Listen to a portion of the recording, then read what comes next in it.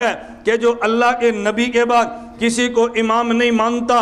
और एक तबका वो है जो इमाम मानता है, हलाल हराम का इख्तियार भी देता है, जो पैगंबर के बाद इमाम न माने। ये इलाहाद वाला है और इमाम को हलाल हराम इख्तियार भी दे। ये बिदात वाला है और जो पैगंबर के बाद इमाम माने, लेकिन हलाल हराम का इख्तियार न दे। हलाल हराम की शरा बताने वाला माने। आलो सुन्नत वल जमात वाला है। कई तबके वो हैं, इमाम नहीं मानते, आपके इलम में है। एक मौलवी ने बयान किया और कहने लगा यो उनासम बे इमाम अल्लाह क़यामत के दिन हर बंदे को इमाम के साथ खड़ा करेंगे। अबू हनीफा के मानने वाले अपने इमाम के साथ, इमाम शाफी के मानने वाले, अपने इमाम के साथ, इमाम अहमद बिन हम्बल के मानने वाले, अपने इमाम के साथ, इमाम मालिक के मानने वाले, अपने इमाम के साथ हम खड़े होंगे रसूलुल्लाह के साथ। क्यों? हम और कोई इमाम मानते ही नहीं है। मैं कहता तो जो पैगंबर के बाद इमाम न माने, इलाहाद वाला है और इमाम को हलाल हराम के इख्तियार दे दे, ये बिदात वाला है। हम देवबंद वाले इमाम मानते हैं, लेकिन इमाम को शरीयत वाला नहीं, शरा वाला कहते हैं याल सुन्नत वल जमात वाला है। क्या मतलब? तवज्जो रखना। क्या मतलब? आप उलमा असूल की किताबों में एक जुमला पढ़ते हैं, अलकयास मजहर ला मुस्बित इसका माना एक नस है, जिसे कुरान हदीस कहते हैं। एक कयास है, जिसे इश्तहाद कहते हैं। नस का माना मसला बनाना है, कयास का माना बने मसले को दिखाना है। नस वाला नबी है, जिसे शार शर उन ऐन वाला कहते हैं, और कयास वाला ये मुश्तहद है, जिसे शार शर हा वाला कहते हैं। नबी शार इसके ज़िम्मे मसले बनाने हैं, और मुश्त के ज़िम्मे मसले दिखाने हैं। नस ने मसला बनाया दिखाया है। कयास ने दिखाया है,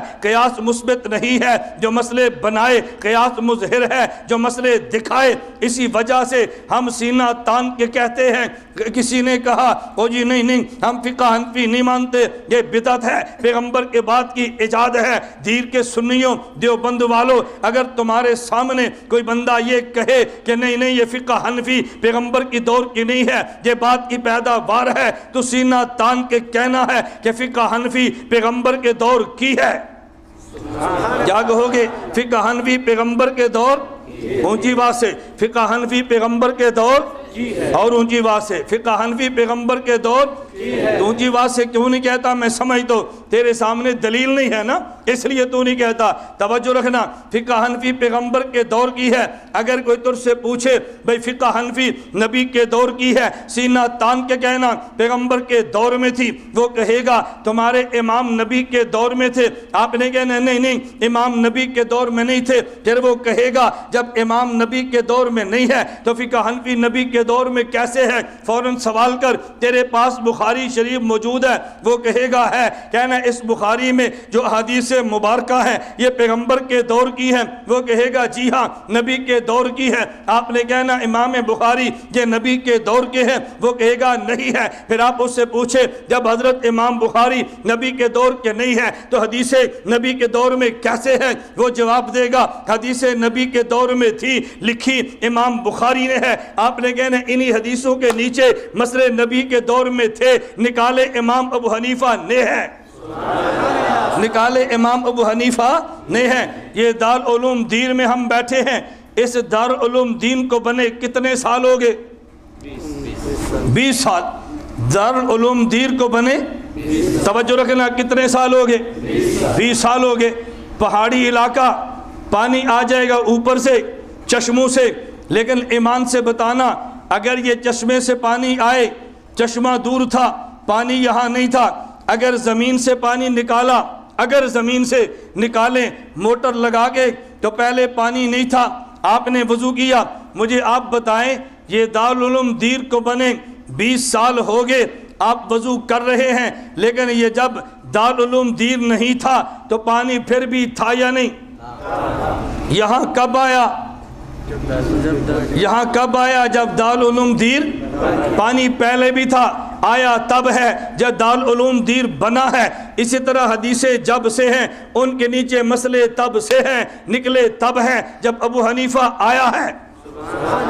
जब इमाम अबू हनीफा आया है, मैं मिसाल देता हूँ, ये जो मैं बयान कर रहा हूँ, जब मैं आपके शहर में नहीं आया था तो बयान मेरे अंदर था या नहीं? निकला कब है? जब अब आया अब कोई बंदा आपसे कहे कि मौलाना साहब दीर आए हैं तो बयान था, जब नहीं थे तो नहीं था।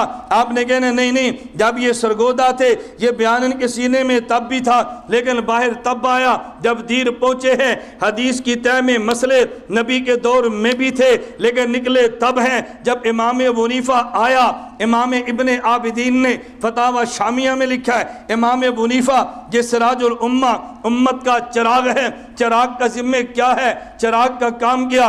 रात तीन बजे आप उठे तिलावत करना चाहते हैं, नहीं कर पाते, अल्फाज नज़र नहीं आते। चार बजे बिजली आई, आपने तिलावत शुरू कर दी, बिजली आई, ये लाइट ट्यूब लाइट जली है। इस ट्यूब लाइट ने अल्फाज कुरान को बनाया नहीं है, अल्फाज कुरान को दिखाया तो लाइट अल्फाज बनाती नहीं है, अल्फाज दिखाती है। चिराग मसले बनाता नहीं है, मसले दिखाता है। नबी ने मसले बनाए हैं, अबू हनीफा ने दिखाए हैं। अब बताओ फिका हनफी नबी के दौर में थी या नहीं?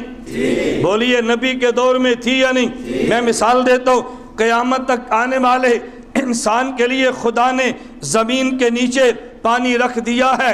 अगर ज़मीन के नीचे रखने की बजाय अल्लाह सतह ज़मीन के ऊपर रख देते सिलाब आता पूरी उम्मत तबाह हो जाती। खुदा ने ज़मीन के नीचे क़्यामत तक आने वाले इंसान के लिए पानी रख दिया है।